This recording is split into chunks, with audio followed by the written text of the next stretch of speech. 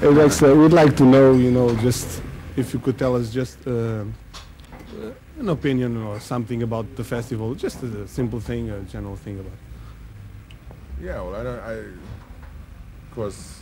Because it's a it's an unusual thing for you for Portugal. That's Yeah, why. yeah. uh huh. Well, that's good. I'm.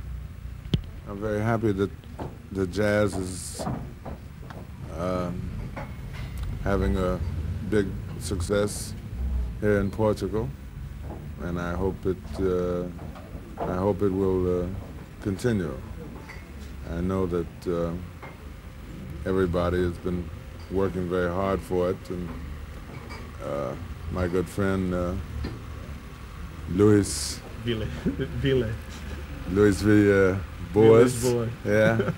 I know he's been working very hard for it, and I, I hope it will be a, a stupendous success. And, I- uh, I know exact from you. I'm, I know it will be a success. That's what I'm sure. You know, well, I'm sure we're very glad to have you I'm down here teaching the guys all, all the horns.